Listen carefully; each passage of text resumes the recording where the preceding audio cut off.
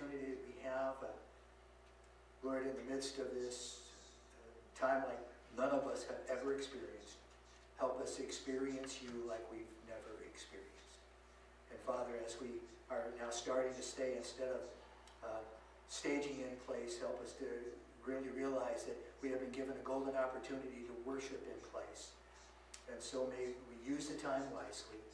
May we spend our time uh, getting to know you better, reading your word, maybe reading passages that we have long since forgotten if we've ever read, uh, and long since forgotten what we read when we did. And Lord, help us again to uh, be good stewards of those that live around us. Help us to take care of those who can't get out and about. And help us to be uh, sensible and uh, understandable and uh, just realize that there are certain people that feel very strongly one way about what to do and other people who feel very strongly another way about what to do. So help us not to invade their conscience and help us to just honor one another, most of all, as one another seek to honor you. Now, as we open up your word, we know that the only way that we're going to learn is if you indeed uh, break through the human words, break through the human distractions, and do what only you can do. Us close to yourself. Reveal yourself through your word today. And we pray this in Jesus' name. Amen. Okay. If you have a Bible, I hope you have your Bible open to Luke chapter 8. Luke chapter 8 is where we're going to be. I'm going to go ahead and read verses 22 through 25. Uh, wherever you are, I know that most of us know that we're supposed to stand up when we read. You can stand up, sit down, you can do whatever you would like to do. Here we go, Luke chapter 8, verse number 22. One day he got into a boat with his disciples and he said to them, Let us go across to the other side of the lake. So they set out, and as they sailed, he fell fast asleep and a windstorm came down on the lake, and they were filling with water, and they were in danger. And they went and woke him, saying, Master, Master, we are perishing. And he woke, and he rebuked the wind and the raging waves, and they ceased. And there was a calm. He said to them, Where is your faith? And they were afraid, and they marveled, and they said to one another, Who then is this? that he commands even the winds and the waters, and they obey him. Today, what we want to talk about is uh, Jesus calms the winds and the waves. But the first question I want to ask us is, but can he calm me? Uh, you know, when I read this story, I read this story and I realize that he could do that then, but what can he do with me right now, uh, right here, right in the situation I am? Can he do anything in my life today that will calm the raging winds and the, uh, the roaring rapids of my life? Can he calm me down? Over the next few weeks, we're going to take a look at, at Luke has petitioned this out a little bit, and we're going to see today that Jesus is the Lord of all creation. Next week, we're going to take a look at Jesus is the Lord of all the spiritual world.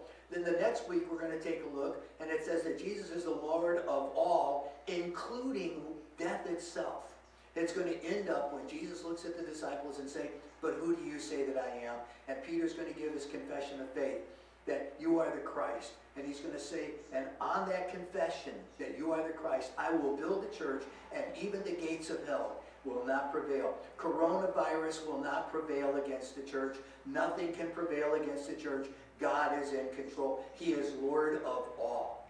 Now, he is doing all of this not just simply to show us that he is a powerful God or that he, he can just have control over the winds and the waves. Uh, his, his is revealed to them and hopefully revealed to us even today.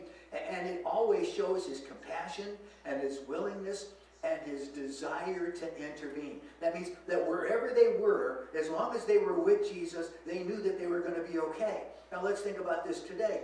If wherever you are, if you know that Jesus is with you, you see, back then they felt that they needed the physical body of Jesus to be with them to be okay. Now we know we need the spiritual oneness of the Holy Spirit in us to know we will be okay.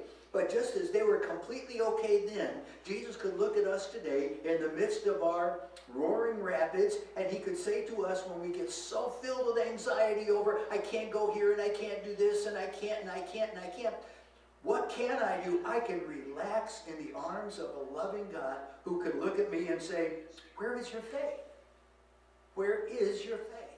And so he always has this power and the ability and the desire and the willingness to intervene in the things of life. We can also find this story in Matthew chapter 8 and in Mark chapter 4, and we're going to be um, discovering that they don't all say the exact same thing, but they all have absolute agreement. But it is interesting. Now, I'm going to try putting my cursor up. Can anybody see that I'm doing the cursor on Mark chapter 4? If you can see me moving the cursor, I can see a few of you on my screen. Uh, and, and, so I'm going to be pointing at a lot of things, but it is interesting that the shortest gospel in the Bible, whenever it has the exact same account of other gospel writers like Luke and Matthew, that the shortest gospel, Mark, always gives us the most information. So I'll be going back to Mark. Uh, you don't have to turn there, but I will be showing you some excerpts from Mark as well as from Matthew as we continue to continue. Let's not forget that Luke had a purpose for doing the writing. He was writing to a person by the name of Theophilus, and he was saying, This is I'm writing you so that you can know for certain what you have been told. And so he is writing topically, and so he is not worried about trying to get everything in exact chronological order. He is just saying, This thought leads to this thought leads to this thought leads to this teaching so that we can grow in our faith. So there are some exact details. Now, of the three, who is the only one that would have been in the boat at the exact same time that this happened? Well, it would have been Matthew, Mark, and Luke. We know Mark was not in the boat. We know Luke doesn't come into the scene until Acts chapter 6. So of the three writers, the only one that was really an eyewitness is Matthew. So that makes Matthew, in many people's opinion, the most accurate as far as the exact details. But there are some details that sometimes we forget to say. Now, uh, we'll point that out as we continue to go along. Now here is a chart, and here is the account in Matthew, here is the account in Mark, and over here is the account in Luke. And I want to point out just a few things as we take a look at these. If you did print off your uh, e uh, email that I sent you with the notes on it, you could actually write these into yours during the course of the week if you would like to. Uh, but notice they all say that Jesus gets into the boat, but over here in Luke it just says one day, as if it was just some indiscriminate day. But what does Mark say? The same day, although the evening of the day that he gave the sermon of the seed and the sower. So what does Mark say? It says on the same day, not just some day, but on the same day of the seed and the sower. I want you to take a look down here. In Mark, it says that he uh, crossed over and that instead of just getting in one boat, there were many boats. So Jesus didn't just calm the waves for the one boat that the apostles were in, disciples at this time. He calmed the waves for all of the boats that was in there. You know what that means? That if God intervenes in a miraculous way, if we were to start praying about COVID-19 and God was to intervene and bring a calmness, he wouldn't just do it for us at Westside, he would do it for everybody who is intervening in the waters at the same time. The rain is going to fall. The goodness is going to happen for those all around and notice down here, it says that they come to Jesus, and oh, let me go back up here again. It says that Jesus got into the boats and the disciple followed him. It says on this day that the disciples actually got into the boat and invited him in, and over here Jesus initiates it. So if you take a look at all three of the gospel writers, two of them says that the disciples invited Jesus. One of them says Jesus invited the disciples. And so there's all of this disagreement. Somebody could easily say, see, the Bible doesn't even know what it's talking about. But remember, each one of these, Matthew is writing to a predominantly Hebrew audience. And so he stays centered on the apostles. Luke is writing to Theophilus. So he stays central on, if God could do this for disciples, he could do this for you. But Mark is writing to the Romans. And in the Romans, he is trying to say, Jesus first. You see, this one had a Jesus first mindset. This one had a Jesus first mindset. This one needed a Jesus first mindset. So he puts Jesus initiating. And, and the disciple, I mean the disciples initiating because he says you've got to initiate and respond to this call of God. Notice down here, it says the boat is filling up, great storms, and then Jesus, according to Mark, is has his head on a pillow. He is sleeping on a cushion. Now we come down, and all three times they're going to wake Jesus up. But I, if you notice over here in Matthew, it says that they go to him and they say, Kyrios, which is the, the word for save us, Lord.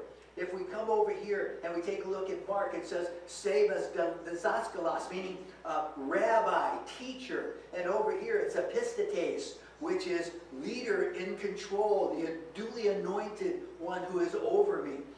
And so every single one used words that would fit their audience. And so does it matter whether or not these were all identical words? No, they are teaching us that Jesus is not only Lord, He is teacher, He is master. So if we take a look at all three of these events and put them together as a unified whole, instead of seeing three different events, we get a bigger picture of one event with absolute certainty and absolute agreement that Jesus is indeed Lord, Jesus is indeed teacher and Rabboni, my teacher, and Jesus is indeed master, not just master of the universe, but he is my master of my life. He is the master of my boat, the boat in which I live. Now, I'm going to come back to this again, and let me just say as well, if you're watching this by way of either the YouTube that's running, or if you're watching it by way of the live streaming, that all of these charts I can email to you. So if you like them, all you have to do is send me an email. I will reply to that email and send the charts to you. There's more to come. If we take a look at God in the Old Testament, there are several great Old Testament passages that tell us what God is and what God does that actually not only tell us something about God, but it tells us something about Jesus. In Psalm 65, 5, it says this, Come and see what God has done.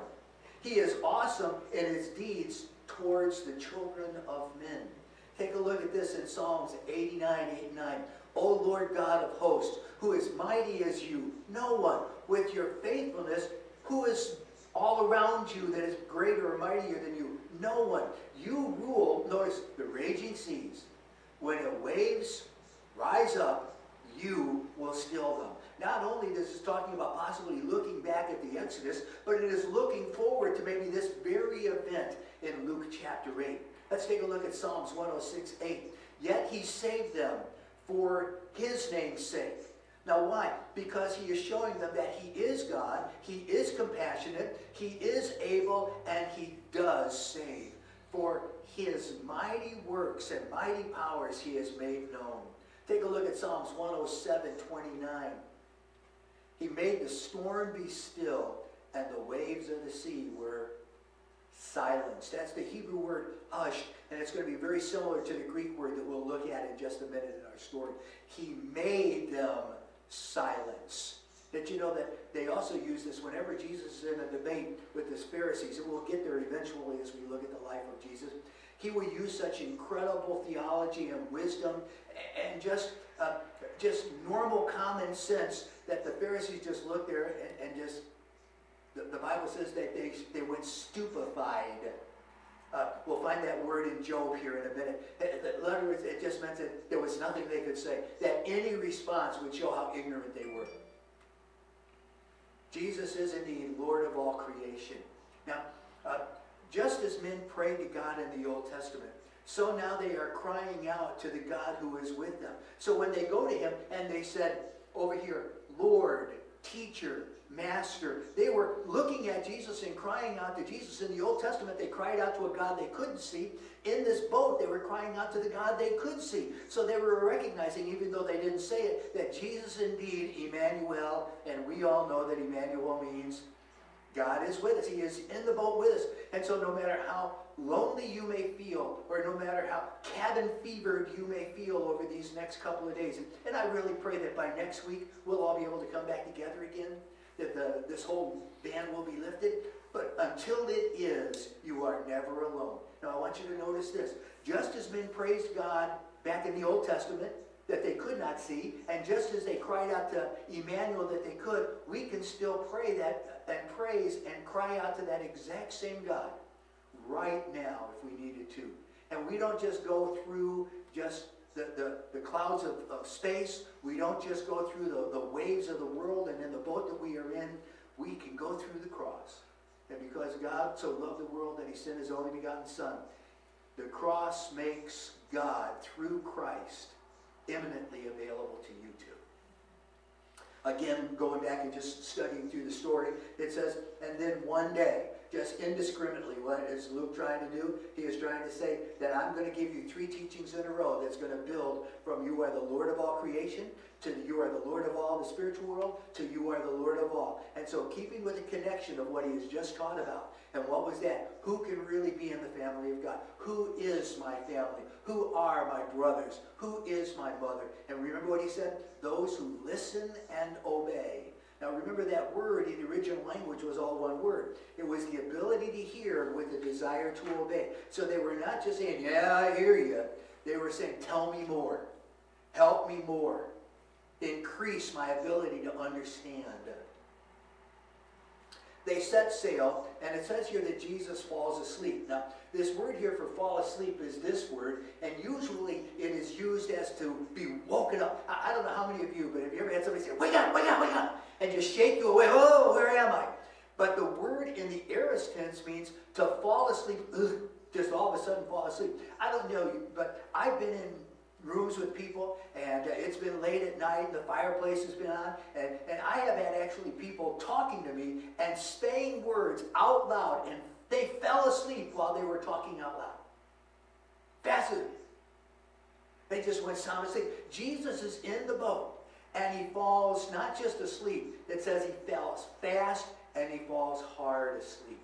Which says to me again, when the Bible says in every way he was tempted just like us, that just says to me again that, that when we get tired and, and, and, and we just need to rest, so did Jesus.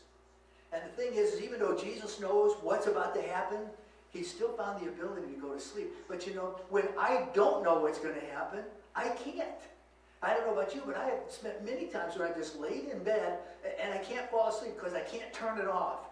But if the God of all the universe, who knows what's going to happen, now you could say, but he knows he's going to fix it, and I don't know if I, I don't know, I don't need to know if I can fix it. I, can, I should be able to fall asleep knowing I am falling asleep into the hands of God. And either I'm going to wake up and he is still going to be in control, or I'm going to not wake up here, but wake up there and find that he is even more in control. But either way, God is still going to be sovereign. I tried this picture yesterday and had Margaret on video cam with me. I, I, hope it turns out as well. And you can, let me just look around. Some people still have their cameras on. Can you see the picture up on it? Is it pretty clear? And so this is an artist's rendition of Jesus. And if you take a look, if you can see, here's Jesus up on the, here's the pillow that he's asleep in. And the thing I like about this is you can see how small the boat really is. A lot of times when people think about the fishing boats of the New Testament, they think of these big boats and they would have to, uh, you know, but no, they are very small boats. In fact, you could see that to put 13 people in that boat would have been dangerous. Just even on a calm day. But to put 13 people in that boat on that day would have been extreme. The waves would not have been very high. But it says that the Lord of all creation gets in a boat. Now, this is a boat that was actually salvaged in uh, Magdala, uh, where Mary from Magdalene came from.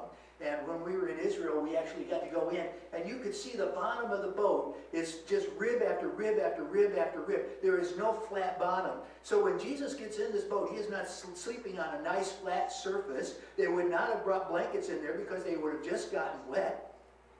And so there, will, but he does have a pillow but his entire body is just on rib after rib after. Let me see if I can get another picture so you can see. Now, John here is about six five, so you can see that if he was to lay down, this boat's probably less than 10 feet long, maybe 10 to 12 feet long. And so could you imagine that means in this world of, uh, what do we call that? We are doing some kind of spacing. What kind of spacing? Social distancing. That when they got on that boat, there was no social distancing. They were jam-packed in that boat. In the background here is a mosaic. I'm going to take a picture of it again. But many times there would be a sail or a mast that would come out of the top of the boat, and so it would look something like that. That is the mosaic that is in this museum in Israel. Uh, and so now let me just go back and say this, that Jesus falls fast asleep, and it says here in the text, text that the winds came down.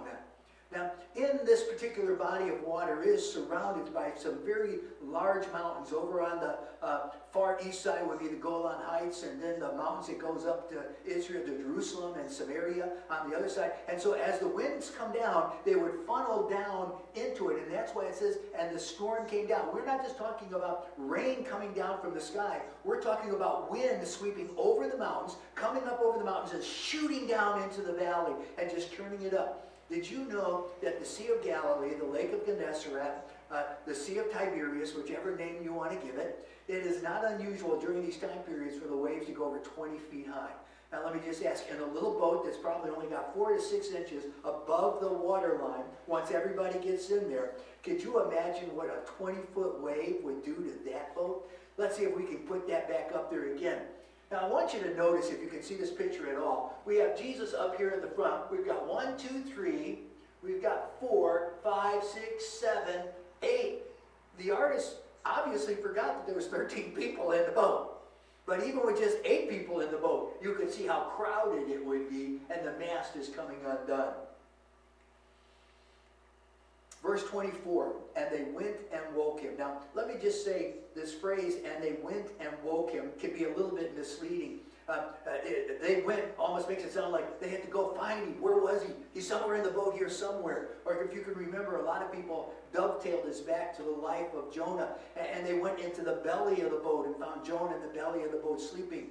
They went just means they went from the back side of the boat to the front side of the boat. I mean, it would have been one wave would have gotten them there. They didn't even have to walk. They could have just waved up, if you will. And it says, and they went and they woke him. And when they did, one wave could have shot you from the back part of the boat to the front part of the boat.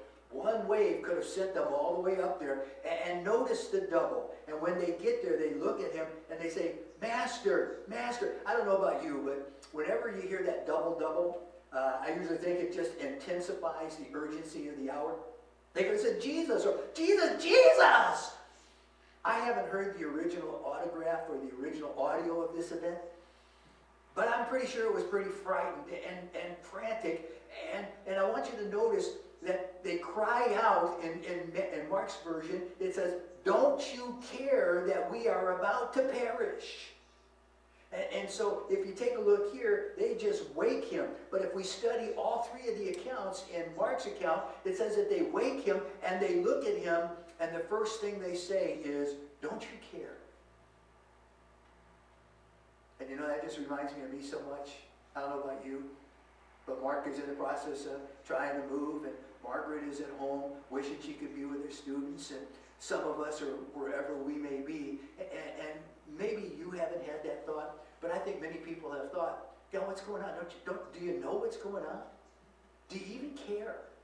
Do you even care uh, what's going on life? Some people are missing an opportunity to be at work and their income has diminished. Don't you care, Lord? Some people are stuck in, in the house and they, uh, I've, I've, been uh, talking with people in Chicago in the high uh, areas where there's multifamily dwellings where there might be four or five hundred units within one building where you have to take a central elevator. The children are not even allowed to leave the apartment. I could easily say to my friends in Chicago, where their children are stuck in a maybe a, a 800 square foot apartment, can't even go out at all, not even to the elevator. Don't you care? Don't you care that we are COVID 19s? We should not have to wonder or worry. Uh, and, and let's not forget, going back to the story, this, these are seasoned fishermen. Most of these seasoned fishermen are seasoned on this very same body of water. This should not have taken them by surprise. Uh, they should have, they probably experienced this exact same kind of calamity, this exact same kind of event many times. But all of a sudden now, their hearts are gone. Here they are, and let's not forget, we're just getting the account for one boat. According to Mark, there were several boats in this event. What do you think they were saying? They may have said something like this. We don't even know how much we even believe. They were not even in Jesus' boat. He might say Peter, but what's he going to do for me? And yet, how many times do we in our world say, I know Jesus did this for Peter in the Bible. I know he did this for Paul in the Bible. I know he did this for Job in the Bible. But what is God going to do for me?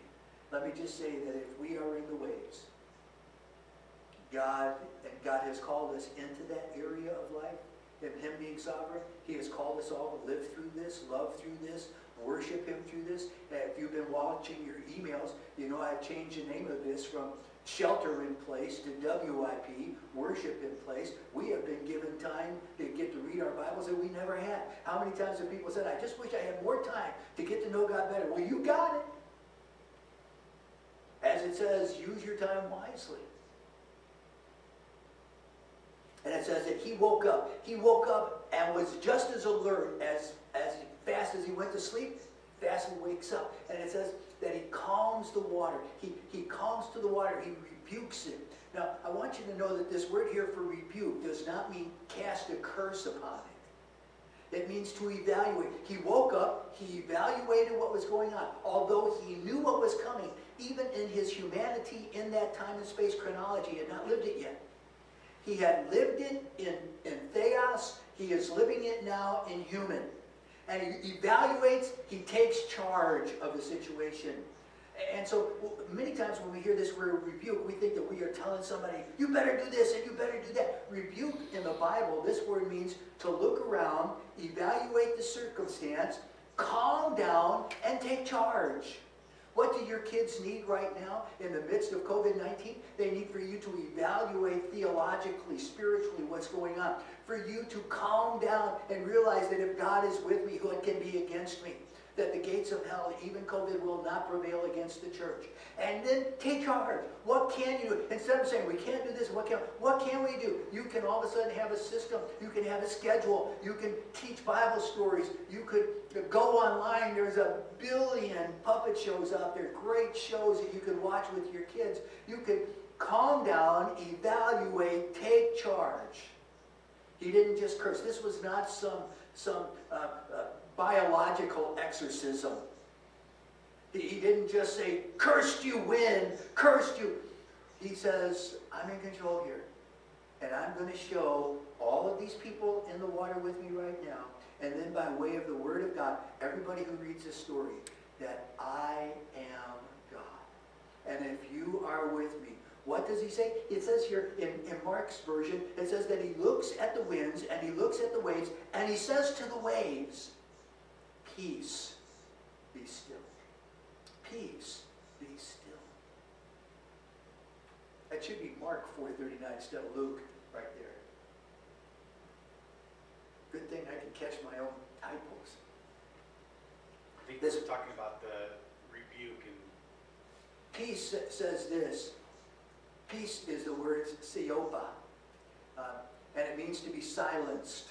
It means to be uh, just so caught with such extreme intelligence that you just realize, I have nothing to say. In Job chapter 8, verse number 3, it says, We are counted as cattle. Now, the word here for cattle is not just some cows on a thousand hills, but the cattle that is going to be used uh, to develop the sacrificial cattle of the future. And so these are the cattle for producing sacrificial cattle. We are counted as what? As important offerings. We are counted as, uh, why are we counted as important? Because God so loved you. But then why are we so stupid in your sight? Because we're not God. That even the best of the best sacrifices is nothing compared to the best of the best of God and God's best sacrifice. Although we are joint heirs with Jesus Christ, we are counted as part of the cattle. We are part of the bride of Christ. But compared to the bride of God, God's only son, the bridegroom, we should stand stupid. What does that mean? Unclean instead of spotless. We realize that in the midst of this, only Jesus faced all the temptations just like me and yet without sin. And it says that in that particular time, the only thing for an unclean person like me to do in front of a perfectly clean sacrificial lamb like him is to do what? Be still, be silent, and know that he and then when that happens, and then it says the peace of God will protect you and guard your minds. It will actually shut us down and then open us up. Many times we are so busy trying to tell God something, trying to have a dialogue with God, that God can't get another word in edgewise. You know, how have you ever been talking to somebody and, and, and you're just waiting for them to take a breath so you can say something? God will not just butt in, but God is constantly knocking at the doors of our hearts. And if we will open up, he will come in and have supper with us. But then comes this spooky stillness. And he says that he said to them, be still. And it says that it was completely calm. It went from raging to completely calm. I don't know if this has ever happened to these seasoned fishermen before. I don't think it did. Because according to the text in all three of the accounts, it said immediately, immediately they were terrified and at the same time marveled. In all three accounts, there's absolute agreement. By now, they should have had trust. By now, they should have known who he was. By now, they should have known that if they were with him, he would take care of them. And in all three accounts, now in only one of the accounts that he looks at them, in Mark's account, and says, you, you don't have any faith? By now, you don't have any faith? Neither in Matthew nor in Luke does he look at them and, and re, he rebukes the wind in all three, and in Mark he rebukes the disciples. And sometimes we need that gentle reminder. We need to hear him say to you, come on now. By now you should have more faith in me. If I am with him, and he is saying to the disciples in this account, by now you ought to have better faith. Where is your faith? Did you know that even the apostles didn't have immediate perfect faith from day one? That, that faith, like Christ likeness, it needs to grow. Just like when you plant something under the soil and you watch it grow, but it is nourished. God nourishes us. God waters us. God feeds us. And after being with, the, with Jesus for this period of time, and a lot of people believe at this particular time, he is at least a year and a half, maybe two years into his ministry. So they have been with them uh, at least a year. So they've got a year of seminary under their belt. And we get all the way down to Luke chapter 17. And in Luke chapter 17, Jesus is doing a great deal of teaching. He's going to teach about temptation. He's going to teach about spiritual accountability. He's going to teach about forgiveness from God and then how to give that forgiveness to others. And even if your brother sins against you multitude of times, what should we do? And at that, when the apostles hear all of this teaching, another six months into their seminary degree, they look at him and say, Lord, increase our faith.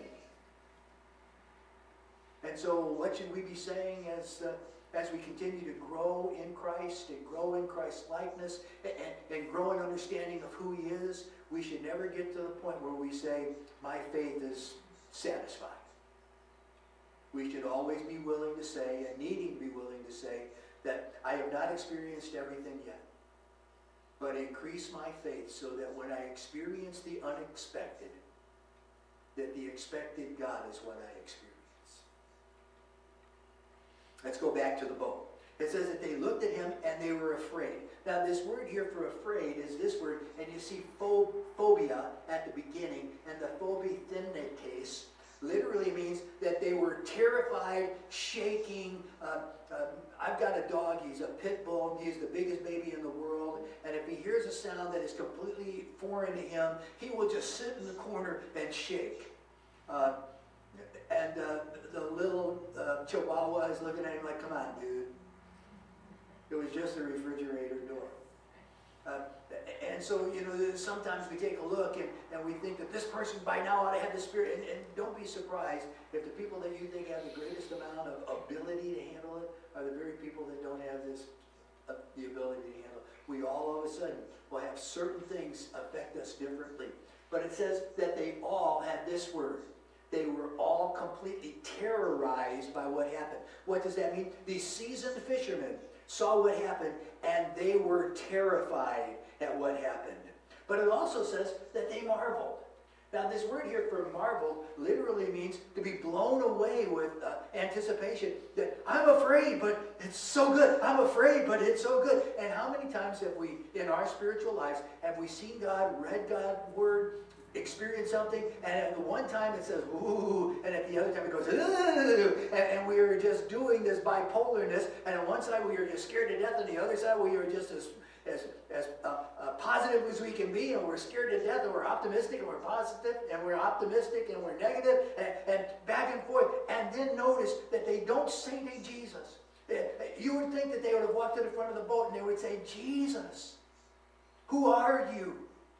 But they look at each other and they say to one another, this is one of the one another's that are not necessarily one of the good ones. And they said to one another, Who then is this? Now, the only person who really knows the answer to that is Jesus, and the only person they don't ask is Jesus. Just be careful that as we live through this station in life that we are living, that you don't spend so much time watching the television, hearing from people who don't know what is and what isn't, uh, the first thing that they would say is, uh, this is this and that is that, and do this and then don't do that. Um, spend more time with the one who can give you the answer. Uh, you may not find the answer or the cure to COVID 19, but you will find how to live victoriously and prosperously and strong with confidence in the midst of uncertain times in your life. You're not going to find that on the news channels. You're not going to find that on streaming people that are not God. Go to God's Word. Go to God himself. And they said to one another, Who then is this? Now it is interesting, this question is not answered, but it is implied. When the God of the Old Testament did things, uh, everybody seemed to give God the glory for that, recognize that there was a. Jesus now does what only the God of the Old Testament could do. He could still, what did it say in the Old Testament? That God himself will still the wind and still the raging sea. And so when he said, Peace be still, he could easily have been saying this Peace be still, and then to the disciples in the boat, he could have said, And know that I am God. You're not just in the boat with this human Jesus. This human Jesus is Emmanuel. And when we open up our scriptures, and remember, we've got something they didn't have. They lived the event with Jesus in the boat. We can relive it every day with a full translation of the Bible that's very accurate, very re reliable, completely sovereign under the grace of God through the different councils. I want to close by reading a couple of passages out of Psalms. You might not be able to see it very well on the screen, but it reads like this Psalms 46. God is our refuge and strength, a very present help. Present help not far off. He is right here with us. If we're asking where is God in the midst of this uh, a worship in place situation that we're in, God is right here in your room. In fact, if you've asked Him and you've been elected, He's in your heart. He's even closer than that. God is our refuge and strength, a very present help in trouble. Therefore, we will not fear though the earth gives way, though the mountains be moved into the heart of the sea, though its waters roar up and foam, though the mountains tremble and its swelling. Selah. I'm going to drop down to verse number four. There is a river whose streams make glad the cities of God, the holy inhabitants of the Most High. God is in the midst of her. She shall not be moved. The church will not be moved. God will help her when morning dawns, the nations rage, the kingdoms totter, but his voice he utters, and the earth will melt. Come, behold the works of the Lord, how he has brought desolation on the earth. He makes wars cease to the ends of the earth. He breaks the bow and shatters the spear. He burns the chariots with fire. All these things will pass away. Be still and know that I am God. What did Jesus say to the winds? What did Jesus say to the waters? Be still. We can hear even more than that. Be still and know that I am God. And then he goes on to say this I will be exalted among the nations. I will be exalted in the earth. And the last verse says this The Lord of hosts is with us. The last verse of, of chapter uh, 46. The Lord of hosts is with us. The God of Jacob, he and he alone is my fortress. God has made some promises in the Bible. The problem is not, has God made enough promises? The problem in time like this is, do I know them? And probably even greater than that, do I trust in those promises? And I say unto you that thou, Peter, and upon this rock, on this confession of faith, I will build my church, and the gates of hell will not prevail against it. There is nothing that's happening in the world today and nothing that will happen in the world into the future that will destroy the church. And let's not forget, I am in a building, but this is not the church. We are now the church video. Some people will be later the church YouTube. It does not replace the fellowship. When the disciples first got together in Acts chapter 2, they said there were four things that we need to do to create fellowship. One, preach the word. Two, break bread. Three, fellowship with God, with one another. And four, have corporate prayer. Now, we can't do all of those right now, but we're going to do as many as we can. We're going to teach God's word. It is okay for you to be eating donuts while we're doing this. It is okay for, for you, and I noticed that a couple of people have actually chimed in on the chat box and said, good morning, everyone. That's okay for you to do that. Uh, the one thing that we can do, we can still pray together. We are not together, but we are not alone. We may not be in the same room, but we have the same Holy Spirit inside of each and every one of us.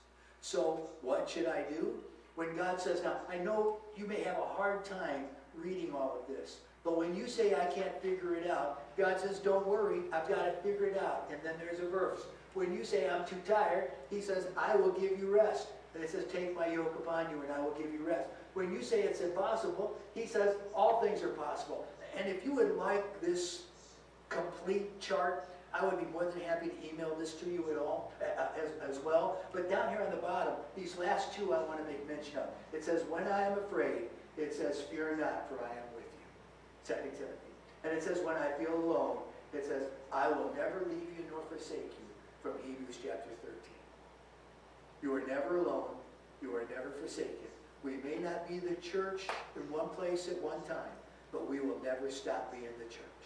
A couple of more verses in closing in Isaiah 41:10. Do not fear, for I am with you. Wherever you are, I am with you. Do not be dismayed, for I am your God. I will strengthen you. I will help you. I will lift you up with my righteous, mighty right hand wherever you may be. So, in other words, peace be still.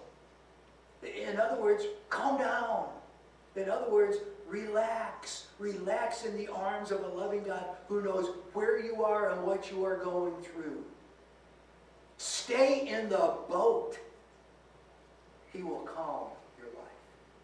And so what should we do? It says in Psalm 63, 4, I will praise you what should we be doing right now? I will praise you. What does that mean? Giving you all of the, the, any of the value that I hold for anything. I give you all of that value. You and you alone are worthy of all the value I have and all the value I could give. I can't make you more valuable, but I can sure acknowledge your value to me. I will value you as long as I live. And in your name, I'm going to walk through this COVID. I'm going to live through this COVID. I'm going to experience peace through this COVID. And when I can't get together with all of my friends and the joy of that fellowship, I can still have the joy of the Lord. I will praise you as long as I live, or shall I say this, as long as I live through whatever it is that we are going through right now. What I'm going to invite you to do is before we sign off today, is if we could just go ahead and bow and close it. Father, I do want to thank you so very much for this lesson being on a day like today, Lord, you know that when we first undertook the project of looking through the, the story of Jesus through predominantly the life of Luke and uh, his teachings to Theophilus, that you knew before the foundation of the world that we would be doing an in and out of boat experience in the middle of our worship in place orders. Lord, as we worship in place, help us to hear again today. Help us to know again, not just feel, but know again today that if I am in Christ, I am okay. As long as you are sovereign, I am okay. Uh, I may experience some batters and some waves, but I'm still going to be okay. And if, if tomorrow, if I don't wake up on planet Earth, I'll be even better. For me to live is Christ, and as Paul says, and to die would be great. So Lord, help us live responsibly. Help us be good stewards. Help us to help those who can't help themselves at a time like this. And in everything, help us to lift up our hands and praise only you because it is in your name and your name alone. It is in your power in your power alone. It is for your glory and your glory alone that we shall live for you at such a time as this. And as we do, we anticipate that the Sunday when we can all of a sudden come back together and hear the great testimonies of how we have worshiped in place during this time. But until then, may the peace of God, may the power of God, may the presence of God be manifest in us every minute of every day. And we'll give you all the glory. In Jesus' name. I'm going to look out and say, have a great day today and don't forget to shalom.